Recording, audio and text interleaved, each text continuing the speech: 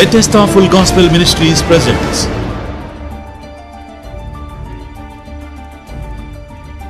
బెతెస్త సంపూర్ణ సువార్త సహవాసం నిర్వహించు మొదటి ఆరాధన ప్రతి ఆదివారం ఉదయం ఎనిమిది గంటల నుండి పది గంటల వరకు విజయవాడ చిట్టినగర్ కల్రా హాస్పిటల్ ఎదురుగా శ్రీ అప్పికట్ల జోసెఫ్ మరియు మార్తమ్మ గార్ల స్కూల్ ఆవరణలో జరుగును. రెండవ ఆరాధన.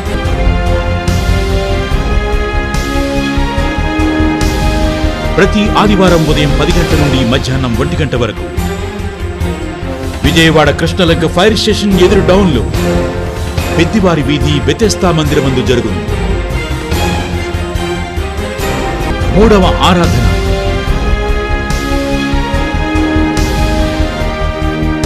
పటమట డొంక రోడ్లో గల SR VSM English medium high school ఎదురు సందులు కుడివైపున రెండవ సందులో గల శ్రీ వీరాంజనేయ జనరల్ స్టోర్స్ ఎదురు సందునందు ప్రతిరోజు సాయంత్రం ఆరు గంటల ముప్పై నిమిషాల నుండి ఎనిమిది గంటల ముప్పై నిమిషాల వరకు వ్యతస్థా మందిరం నందు ఆరాధన జరుగును.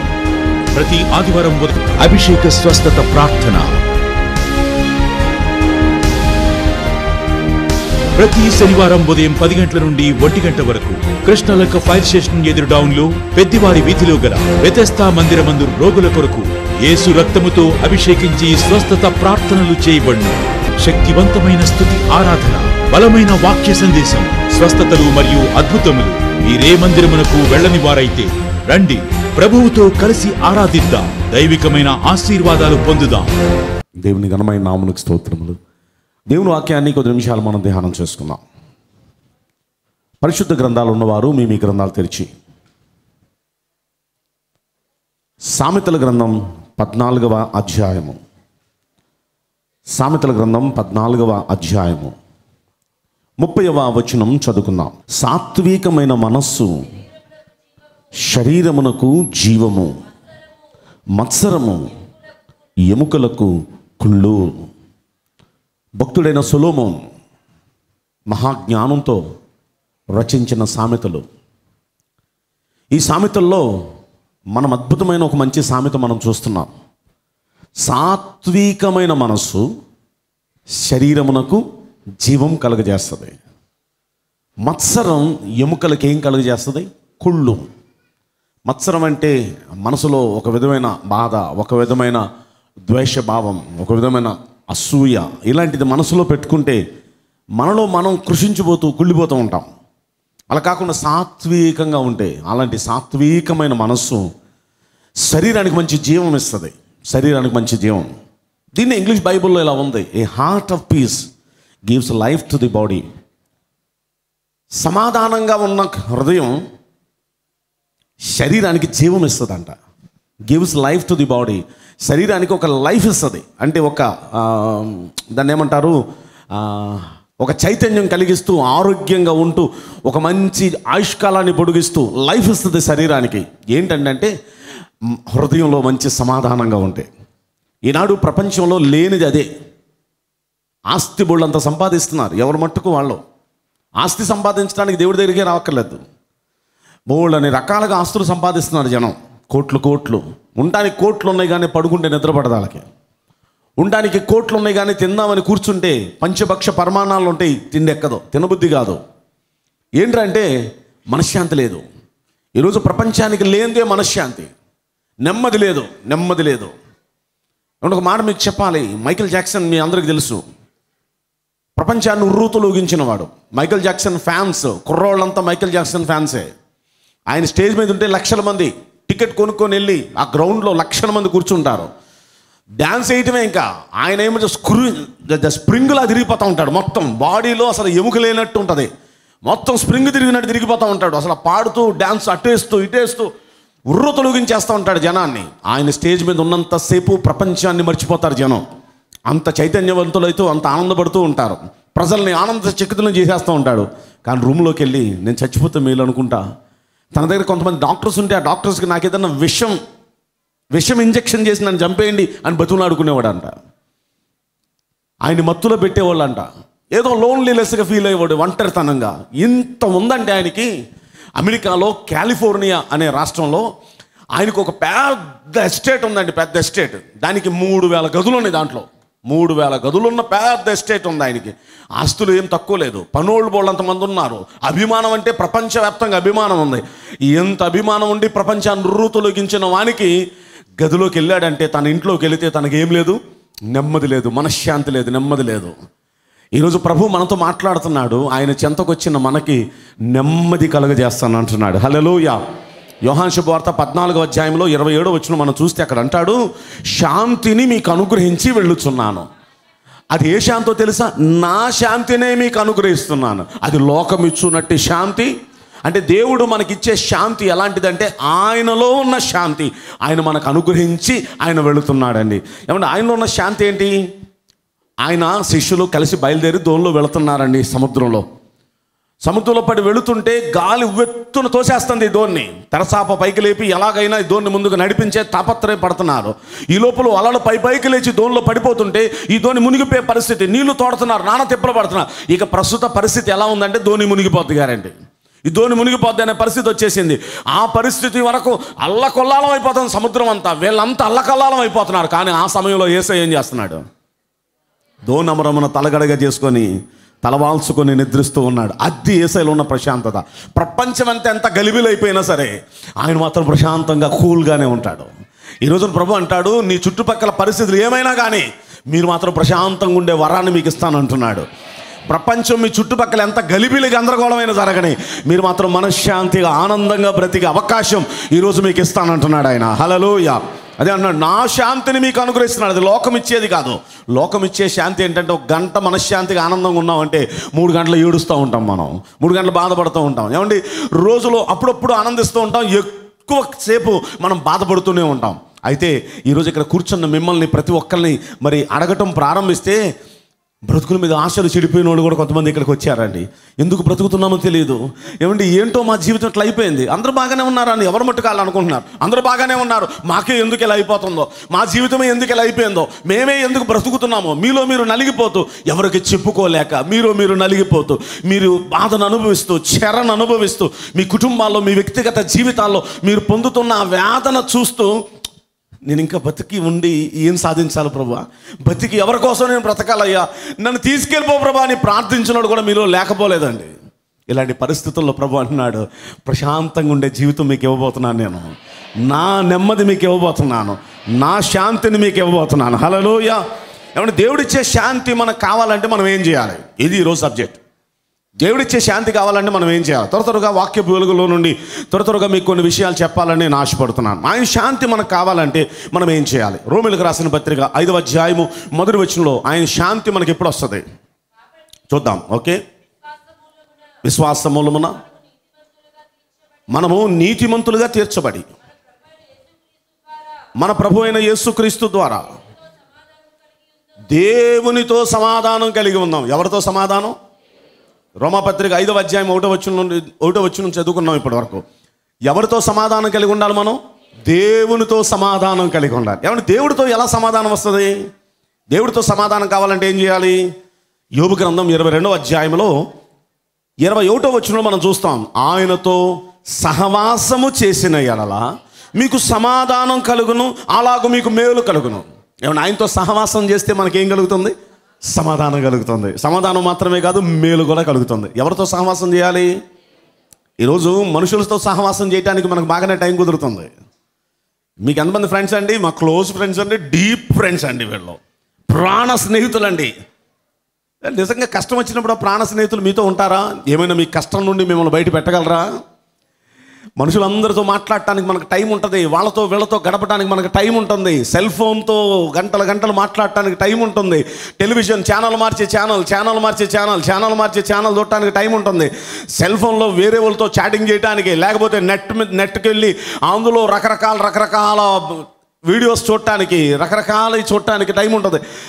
ఊర్లంతా తిరగడానికి టైం ఉండదు అన్నిటికీ టైం ఉంటుంది కానీ మనకి దేనికి టైం ఉండదు అంటే ఆయనతో సహవాసం చేయడానికి మాత్రం మనకు టైము ఆయనతో గంట గడపడానికి టైం ఉండదు. ఏమంటే మన జీవితంలో ఎదుర్కొనే శోధనల పైన మనం జయం పొందాలంటే మనకు కావాలి ప్రార్థన. యేసుక్రీస్తు అంతటి వాడే దేవునితో సహవాసం చేశాడు రాబోతున్న శోధన జయించడానికి. ఆయన గెచ్చమనే వనానికి వెళ్ళాడండి.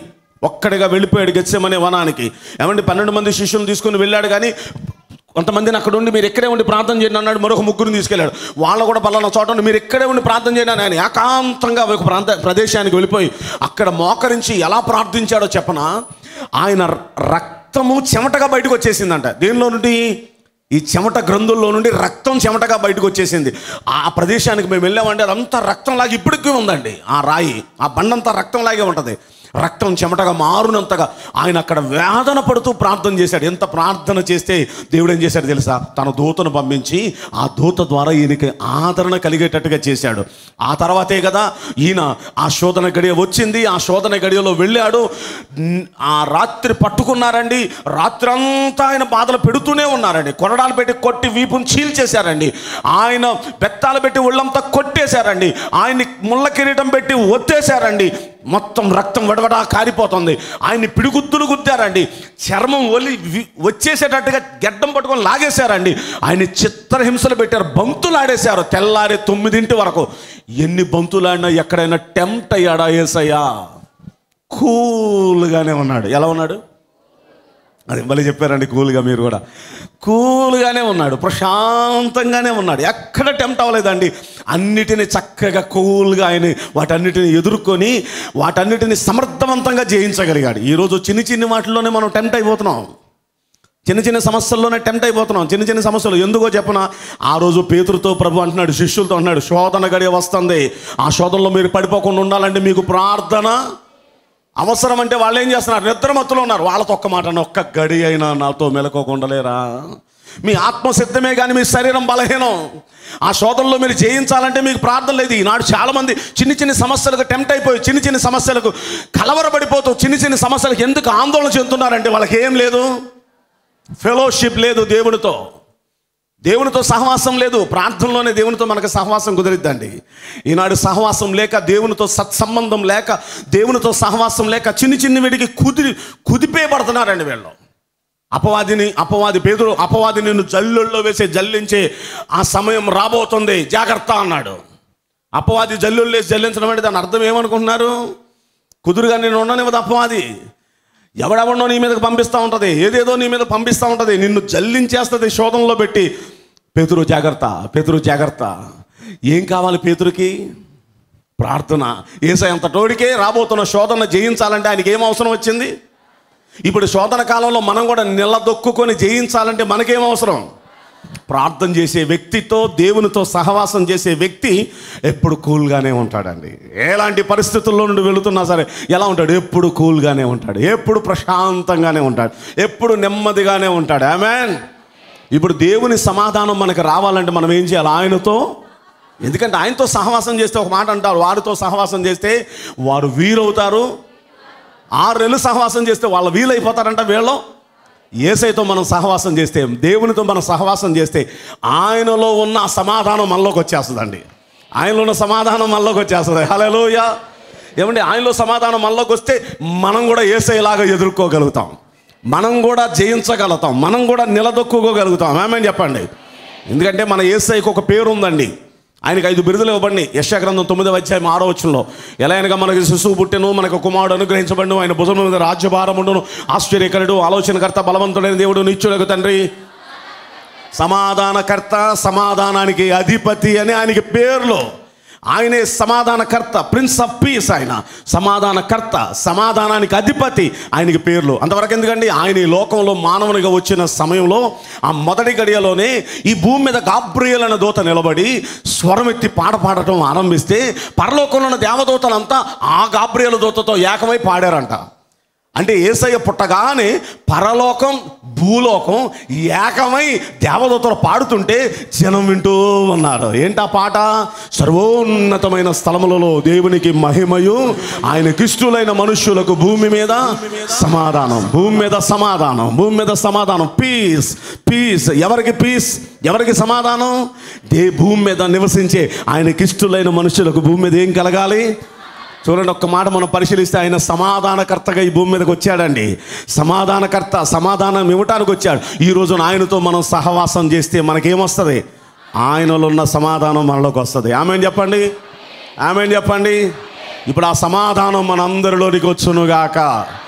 ఎలాంటి పరిస్థితులు గుండా మనం వెళుతున్నా సరే ఎక్కడ టెంప్ట్ అవ్వకుండా ఎక్కడ మనం నెమ్మది కోల్పోకుండా ప్రశాంతంగా కూల్గా నెమ్మదిగా ఉండే వరాన్ని దేవుడు మనకిచ్చునుగాక.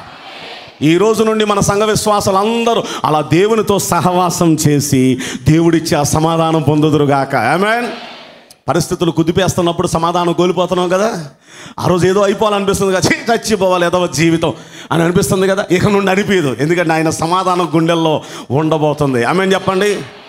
రెండో మాట అండి. ఆయనతో సమాధానం ఆయనతో సహవాసం చేయటం మాత్రమే కాదు కొలసీలకు రాసిన పత్రికలో రెండవ అధ్యాయం మనం చూస్తే రెండో పాయింట్. కొలసీలకు రాసిన పత్రిక మూడవ అధ్యాయము పదిహేను వచ్చిన ఒకసారి చూద్దాం. క్రీస్తు అనుగ్రహించు సమాధానం. మీ హృదయములలో ఏలుచూ ఉండనియడి. హృదయాల్లో ఏం ఏలాలి? క్రీస్తు అనుగురించు సమాధానం మన హృదయాల్లో ఏలాలి. అంటే ఒక మాటలో చెప్పాలంటే మనలో ఎవరు ఏలుబడి చేయాలంటే ఏసై ఏలుబడి చేయాలి. ఎవరు ఏలుబడి చేయాలి? ఏసై ఏలుబడి చేస్తే ఏసైలో ఉన్న సమాధానం మనలో ఉంటుంది. సైతాన్ ఏలుబడి చేస్తే సైతాన్ అంతా నాశన పుత్రుడు నాశన పాత్రుడు లయకర్త. ఇలాంటి బిరుదులు ఉన్నాయి వాడికి. వాడు చేసే పని ఏంటంటే వాడిలో ఉన్న గలిబిలి వాడు ఎక్కడుంటే అక్కడ గందరగోళం వాడు ఎక్కడుంటే అక్కడ చీకటి చేసేస్తాడు వాడు ఎక్కడుంటే అక్కడ నాశనం చేసేస్తాడు అదంతా మన కుటుంబాల్లో మన జీవితాల్లో జరుగుతూ ఉంటుంది. సైతాను మనల్ని ఏళ్తున్నాడా? ఏసయ్య మనల్ని ఏళ్తున్నాడా? ఏసయ్య ఏలుబడిలో మనం ఉంటే ఎంత మేలది? హలలోయ క్రీస్తు ఏలుబడిలో మనం ఉందామండి. క్రీస్తు రూల్ చేస్తే అక్కడ అంటాడు ఆ సమాధానం మీ హృదయాల్లో ఏలుచూ ఉండనియండి. ఎవరు ఏలుచూ ఉండాలి? ఏసై ఇచ్చు సమాధానం ఏసయ్య మన హృదయాల్లో ఏలుచూ ఉండాలి. ఈ రోజున మీ హృదయాల్లో ఎవరు రాజు? ఎవరు ఏళ్తున్నారు మన హృదయాన్ని? ఎవరు ఏలుతున్నారు? ఒకసారి మనం పరిశీలిస్తే ఏసై ఏలితే ఆయన సమాధానం అనుకుంటుంది. దీన్ని ఇంగ్లీష్లో రూల్ అని ఉంటే దాన్ని హీబ్రూ దీని గ్రీక్ భాషలో దీని ఏం రాయబడి ఉందంటే ఎంపైర్ అని ఉందండి. ఎంపైర్. ఎంపైర్ అంటే క్రికెట్ మ్యాచ్లో ఎంపైర్ తెలుసుగా? క్రికెట్ మ్యాచ్లో ఎంపైర్. ఏమంటే బౌలింగ్ చేసేవాడు పరిగెత్తుకుంటూ వచ్చేస్తాడు అక్కడికి వచ్చేసాడు ఈ లోపల ఎందుకు వీడికి మూడు వచ్చింది చెయ్యిలా పెట్టాడు. అంత పరుగు పరుగున వచ్చేవాడు ఏం చేస్తాడు? అయిపోతాడు బ్యాట్ పట్టుకొని రెడీగా ఉంటాడు కొట్టడానికి వాడు రెడీగా ఉంటాడు. ఎప్పుడు చేయి పెట్టాడో ఆడు ఫ్రీ అయిపోతాడు రిలాక్స్ అయిపోతాడు. ఇప్పుడు ఈయన ఒక్కసారి చెయ్యేసి చెయ్యెత్తిన తర్వాత వాడు వచ్చి బౌల్ చేసినా ఆడలా నిలబడి ఉంటే బౌల్డ్ అయిపోయినా సరే నాట్ అవుట్ అది. ఎందుకు? ఎవరు చెప్తున్నారు? ఎవరు డిసైడ్ చేస్తున్నారు అక్కడ? Umpire decision is the final decision ఆయన ఏది చెప్తాడు అదే ఫైనల్ ఒక మాట ఇప్పుడు బౌల్ చేశాడు. బౌలింగ్ చేసిన టైంలో సరిగ్గా వెళ్ళిపోయి వికెట్లు తేలేసింది. ఈయనకి ఎందుకు అప్పుడు చేయి అప్పుడు చేయి ఎత్తాలనిపించింది అట్టగా. ఇప్పుడు దాన్ని ఏమంటారు? కొంచెం క్రికెట్ తెలిసిన వాళ్ళు చెప్పండి. నో బాల్ అంటాడు. వికెట్లు తగిలేసినా సరే ఈయన చెయ్యి అప్పుడు చేయత్తాలనిపించింది ఇప్పుడు ఇది కూడా నాట్ అవుట్ ఏమండి బ్యాట్ పెట్టి కొడితే వెళ్ళిపోయాడు ఒక క్యాచ్ పట్టేసుకున్నాడు. అప్పుడు అవుట్ అని అందరు కేకలు వేస్తున్నారు. ఈయన అసలు చెయ్యే ఎత్తకుండా మౌనంగా ఉన్నాడు. అది నిజంగా అవుట్ అయినా సరే నాట్ అవుట్ ఎందుకంటే ఎవరు చెప్పలా అవుట్ అని? ఆయన చెప్తే నేను బయటికి వెళ్తాడు బ్యాట్ పట్టుకో లేకపోతే అక్కడే నిలబడతాడు. ఆడు నిజంగా అవుట్ అవ్వలేదు. ఈయన చెయ్యెత్తేసాడు ఎందుకో మూడొచ్చి. ఆడు బ్యాట్ పెట్టుకొని మర్యాదకి వెళ్ళిపోవాలి బయటికి. అని ఒకసారి చూడండి ఎంపైర్ ఏం చెబితే umpire decision is the final decision. అంటే ఎంపైర్ అక్కడ ఉన్నాడంటే అటు పదకొండు మంది ఇటు పదకొండు మంది పొట్లాడుకుంటూ ఉంటే మధ్యలో ఈయన ఏం చెబితే అదే వేదం అంతే. ఈయన అవుట్ అంటే అవుట్. ఈయన నోబాల్ అంటే నోబాల్. ఈయన వైడ్ అంటే వైడ్. ఏమంటే ఈయన ఏమంటే అదే? ఎంపైర్ డెసిషన్ ఫైనల్ అనమాట ఈ రోజున మీ హృదయాలలో ఎవరు వెళ్తున్నారు ఎవరు ఎంపైర్గా ఉన్నారు? నూట నలభై మూడో కీర్తనలో పదవచనంలో దావిద భక్తుడి మాట అంటాడు. దేవా నా దేవుడవు నీవే. నీ చిత్తానుసారముగా ప్రవర్తించుటకు నాకు నేర్పించు. అలా నీ చిత్తానుసారంగా నేను ప్రవర్తిస్తే దయగల నీ ఆత్మ సమభూమి గల ప్రదేశమందు నన్ను నడిపిస్తుంది. ప్రైజ్ అలా ఏమండి? ఈయన ఎవరు ఏలాలనుకుంటున్నాడు? నా దేవుడవు నీవేనయ్యా. నన్ను దేవుడవు నీవేనయ్యా. నీ చిత్తానుసారంగా నీకు ఇష్టమైన రీతిలో ప్రవర్తించుటకు నాకు నేర్పించయ్యా నాకు నేర్పించయ్యా. ఎందుకంటే నీకు ఇష్టానుసారంగా నేను ప్రవర్తిస్తే నీ ఆత్మ నన్ను సమభూమి గల ప్రదేశంలో చెప్పాలి నన్ను సమభూమి గల ప్రదేశంలో. దేవుడు మన ఏలుబడి చేస్తే ఇది మనల్ని అసలు మనం లేమిలో సమృద్ధి వచ్చేస్తుందండి. లూకా శుభవార్త ఐదవ అధ్యాయంలో మనం చూస్తే అక్కడ పేతురు రాత్రంతా ప్రయాసపడ్డాడు. ఒక్క చేప కూడా దొరకలేదు. ఏసై వచ్చాడు అక్కడ నిలబడ్డాడు. ధోనిస్తావు పేతురు అన్నాడు ధోనిచ్చాడు. ఆ ధోనిలో నిలబడి వాక్యం చెప్పినంతసేపు వాక్యం విన్నాడు. వాక్యం విన్న తర్వాత పేతురు నీ ధోనిది లోపలికి వెళ్ళి వలవై అన్నాడు. అప్పుడు నోరు తెరిచి మాట్లాడటం ప్రారంభించాడు. ఏలినవాడా? లుకాశవార్త ఐదు అధ్యాయం ఐదు వచ్చిన ఏలినవాడా? అంటాడు నన్ను ఏలేవాడా? మై మాస్టర్ నా ప్రభువా నా జీవితాన్ని ఏలేవాడా? రాత్రంతా ప్రయాసపడ్డాం ఒక్క చేప దొరకలేదు. కానీ ఇప్పుడు నీ మాట చెప్పున మేం పని చేస్తామని అప్పుడు వలల వేశాడండి వల తీస్తే ఎన్ని చేపలు పండి? చేపలు దొరికే టైంలో వందల సార్లు వల వేసినా ఒక్క చేప దొరకలేదు. తెల్లారితే ఒక్క చేప దొరకదు. చేపలు దొరకని టైంలో ఈయన ఒక్కసారి వల విసిరితే రెండు దోనులు నిండి పొర్లే అన్ని చేపలు పండి అంటే ఇంత అద్భుతం ఎప్పుడైనా ఎక్కడైనా జరిగిందా? అలలోయ ఏమంటే ఇలా జరగాలంటే మనల్ని ఎవరు ఏలాలి? అక్కడ పేతురు అన్నాడు మై మాస్టర్ మై రూలర్ నా ఏలినవాడా? అంటున్నాడు. ఏమంటే ఇక్కడ దావీదు అదే మాట అంటాడు నూట నలభై మూడో కీర్తనలో. దావీదు ఏమంటాడు? నా దేవుడవు నీవేనయ్యా. నీ చిత్తానుసారంగా ప్రవర్తించటం నాకు నేర్పించయ్యా. నీ చిత్తానుసారంగా ఉండుటకు నాకు నేర్పించయ్యా. ఇప్పుడు ఒకసారి మనం ఆలోచిస్తే దేవుణ్ణి ఎప్పుడైతే మన రూలర్గా మనం లేలేవాడిగా చేస్తామో ఖచ్చితంగా ఆయన మనకు సమాధానం ఉంటుందండి. ఏమండి పేతురుకు సమాధానం ఉందా లేదా ఆ సమయంలో? గొప్ప సమాధానం పేతురికి. దావీదికి గొప్ప సమాధానం వచ్చిందా లేదా? గొప్ప సమాధానం. ఏమండి? దేవుణ్ణి మన ఏలేవాడిగా మనం చేస్తే ఖచ్చితంగా ఆయన సమాధానం మన గుండెల్లోకి వచ్చేస్తుంది. హలలోయ ఈరోజు ఎవరు వెళ్తున్నారు అపవాది వెళ్తున్నాడు చాలామందిని. అపవాది వెళ్తున్నాడు అపవాది ఏలుబడి చేస్తూ అపవాది ఇబ్బంది పెడుతున్నాడండి. వాడు ఏం వద్దంటే అది అది అది మనం చేయకుండా ఉండిపోతాం. దేవుడు చేయమన్నా ఆ సైతాన్ గడు వద్దంటే మనం మానేస్తాం. ఏమండి? దేవుడు చేయమంటే సైతాన్ గడు వద్దంటే మానేస్తున్నాం. దేవుడు వద్దన్నది సైతాన్ గడు చేయమంటే మనం అంటే ఎవరు రూల్ చేస్తున్నారు మన జీవితాన్ని? సపోజ్ గుడికి. ఇవాళ వెళ్ళొద్దు అన్నాడు సైతాన్ గాడు. అయిపోతాం వెళ్ళు కానీ ప్రసంగం మధ్యలో వెళ్ళు అన్నాడు. ప్రసంగం మధ్యలో వస్తాం. ఆశీర్వాదం అంటే ఆయనకి అందుకో చాలు అంటాడు. ఎవరో? కానీ దేవుడే ఉంటాడు చెప్పన్న ప్రారంభ ప్రార్థనలు ఉండు అంటాడు. అయితే నైజీ అంత. అప్పుడే ఎవరు వెళ్తారో? అమాయకులు వెళ్తూ ఉంటారు. పని పాఠాలు లేని వాళ్ళు మనం విఐపీసం కదా. ఎవరో? మనం విఐపీసం కదా మన మధ్యలోనే వెళ్ళాలి. అని ఎవరు చెప్తారు? అపవాది పోతానమాట కనుక మనం అలా చేయొద్దండి. మనం ఎప్పుడు ముందు ఉండాలి దేవుని సన్నిధిలో. దేవుని అనుగ్రహం పొందాలంటే ముందు మనం ఉండాలి గుళ్ళో. అలలోయ ఎప్పుడు మధ్యలో వచ్చేవాళ్ళకి చెప్తున్నాను నేను ఈ మాట. మనం ముందు ఉండాలి గుళ్ళో ఎప్పుడు? ఏం పొందాలంటే దేవుని అనుగ్రహం పొందాలంటే దేవుని కరుణ దేవుని కటాక్షం పొందాలంటే దేవుని సమాధానం పొందాలంటే మనం ఎప్పుడు ఎంత ఇంట్రెస్ట్ దేవుని మీద చూపిస్తామో దేవుడు కూడా మన లైఫ్ మీద అంత ఇంట్రెస్ట్ చూపిస్తాడండి. హలోయ ఇక్కడ చూడండి రెండు మాటలు మనం తెలుసుకున్నాం. మొదటి మాట ఏంటండి? దేవుని సమాధానం మనకు కావాలంటే దేవునితో మనం సహవాసం చేయాలి. ఏమంటే దేవుని సమాధానం. ఎట్లాంటి పరిస్థితులైనా మనం పీస్గా ఉండాలంటే మనల్ని ఎవరు ఏలాలి? దేవుడు మనల్ని ఏలాలి. ఆయన ఏలుబడిలో ఉన్నవాళ్ళు పీస్ఫుల్గా ఉంటారండి సమాధానంగా ఉంటారు. మూడో మాటకు వెళుతున్నాను నేను. ఏమంటే సమాధానంగా ఉండాలంటే మనం ఏం చేయాలో? యశాగ్రంథం ఇరవై ఆరో అధ్యాయము మూడో వచ్చిన చూద్దామండి. యశాగ్రంథం ఇరవై ఆరు మూడు. ఎవని మనస్సు నీ మీద ఆనుకొనునో వానిని నీవు పూర్ణ శాంతి గలవానిగా కాపాడుదువు. ఎలయనగా అతడు నీ అందు విశ్వాసం ఉంచి ఉన్నాడు. చూడండి చూడండి ఈ మాట జాగ్రత్త గమనిస్తే. ఎవని మనస్సు నీ మీద ఆనుకుంటుందో ప్రభువా వాని నువ్వు ఎలా ఎలా కాపాడతావు? పూర్ణ శాంతి గలవాడుగా. ఆ మాట ఒకసారి అనండి. ఎవరికి పూర్ణ శాంతి? దేవుని ఉన్న వాళ్ళకి పూర్ణ శాంతి దేవుడు అనుగ్రహిస్తాడు. ఈరోజు మీకు పరిస్థితులు ఎలా మారినా మీకు పూర్ణ శాంతి కావాలా? అంటే పూర్ణ శాంతి కావాలంటే ఎవరి మీద ఆనుకుందాం మనం? దేవుని మీద ఆనుకుందాం. దేవుని నమ్ముకున్నాం. దేవుడితో సహవాసం చేస్తున్నాం.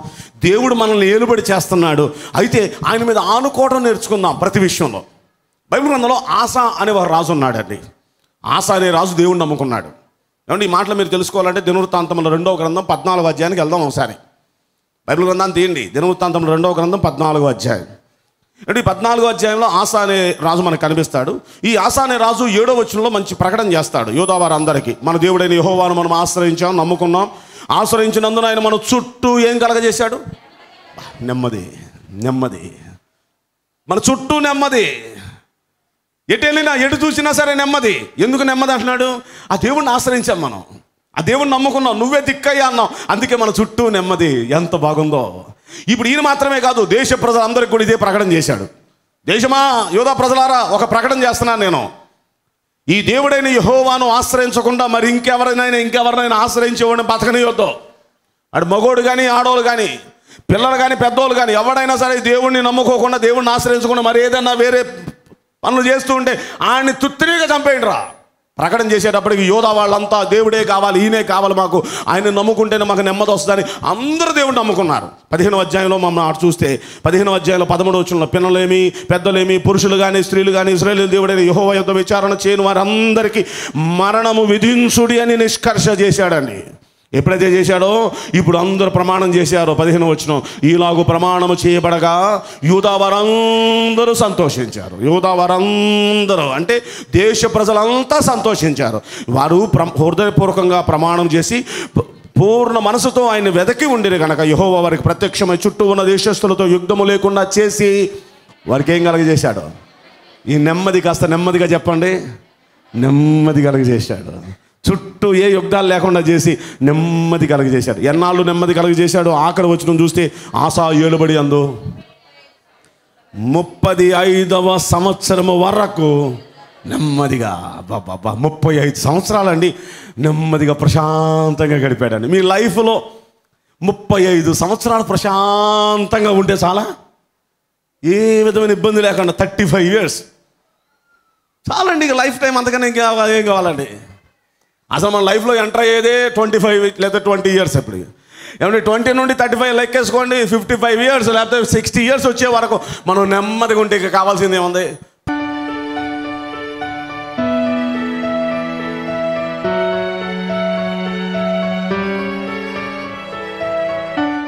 స్వస్థత అభిషేక కోడికలు. ప్రతి మంగళవారం సాయంత్రం ఆరున్నర గంటల నుండి తొమ్మిది గంటల వరకు చిట్టినర స్కూల్లో జరుగుతుంది ప్రతి శుక్రవారం సాయంత్రం పటమడ చర్చిలో ప్రతి శనివారం ఉదయం పది గంటల నుండి ఒంటి గంట వరకు కృష్ణలంక చర్చిలో జరుగును.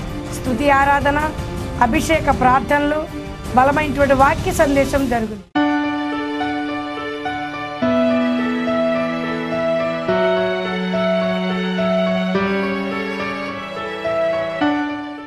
మా మొదటి ఆరాధన ప్రతి ఆదివారం ఉదయం ఎనిమిది గంటల నుండి పది గంటల వరకు చిట్టినగర్ కలరా హాస్పిటల్ ఎదురుగా గల అప్పిగట్ల జోసఫ్ గారు మార్తం గారు స్కూల్ ఆవరణలో జరుగును. మా రెండవ ఆరాధన ప్రతి ఆదివారం ఉదయం పది గంటల నుండి ఒంటి గంట వరకు కృష్ణలంక ఫైర్ స్టేషన్ ఎదురు డౌన్లో పెద్దివారి వీధిలో గల గతస్థ మందిరం నందు జరుగును. మా మూడవ ఆరాధన ప్రతి ఆదివారం సాయంత్రం ఆరు గంటల ముప్పై నిమిషాల నుండి తొమ్మిది గంటల వరకు పటమట డొంక రోడ్ విఎస్ఎం స్కూల్ ఎదురు రోడ్లో ఆంజనేయుల గారి కొట్టు ఎదురు రోడ్లో గల బెతస్తా మందిరం నందు జరుగును.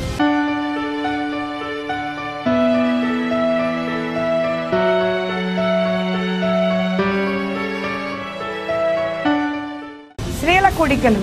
ప్రతి నెల రెండవ వారంలో సోమవారం కృష్ణలంక చర్చిలో బుధవారం పటమట్లో గురువారం చిట్టినార్ చర్చిలో ఆరున్నర గంటల నుండి తొమ్మిది గంటల వరకు జరుగును.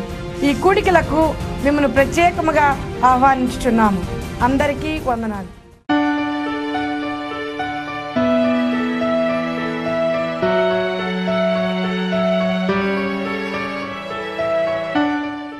యూత్ మీటింగ్ ప్రతి నెల మొదటి వారంలో సోమవారం శ్రీలంకలో బుధవారం పటమట్లో గురువారం చిట్టినగర్లో సాయంత్రం ఆరు గంటల ముప్పై నిమిషాల నుండి తొమ్మిది గంటల వరకు.